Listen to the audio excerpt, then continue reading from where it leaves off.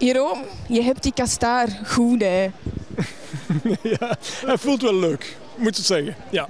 Ik, uh, het is, uh, ik kan er eigenlijk al een afstand mee van nemen. Het is, ik, uh, ik mis hem al als ik hem niet meer zie, dus ik hou hem altijd in mijn zicht. Ik denk dat dit wel een hele speciale betekenis voor jou heeft, hè? Het was niet verwacht, moet ik eerlijk zijn. Uh, want met Boris hebben wij niet het grote kijkcijferkanon gemaakt uh, van dit jaar. Maar we hebben wel mensen uh, toch beroerd en, en, getroost, denk ik. Um, dus in die zin is deze toch ja, een beetje onverwacht en toch speciaal. Dat ik nu ineens voel, ook in de zaal, gevoeld die warmte en die appreciatie. Um, ja, dat doet altijd goed. Hè. Zo, toch eens het respect krijgen voor al het werk dat je gedaan hebt. En ook voor de ploeg. Het is een speciaal moment, ja. Waar ga je me zetten?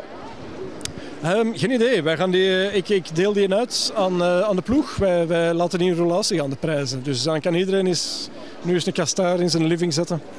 Dat is altijd een goed gespreksonderwerp.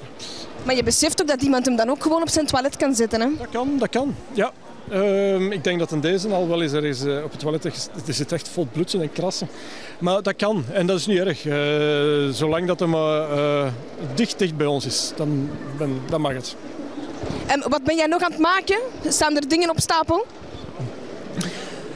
ik ben aan het, aan het zoeken, ben aan het kijken wat ik kan doen. Um, ja, dat is altijd de vraag, hè, van wat is het volgende? En de lat ligt nu al ja, met een kastaar redelijk hoog. Want je moet minstens volgend jaar terug een kastaar, of op zijn minst een nominatie, maar winnen zou dan ook beter zijn. Ja, eigenlijk twee, hè. ik heb er nu al één, ik zou er twee moeten hebben volgend seizoen. Dus uh, daar, moet, uh, ja, daar wordt nu heel hard aan gewerkt om dat ook te laten gebeuren. Ja.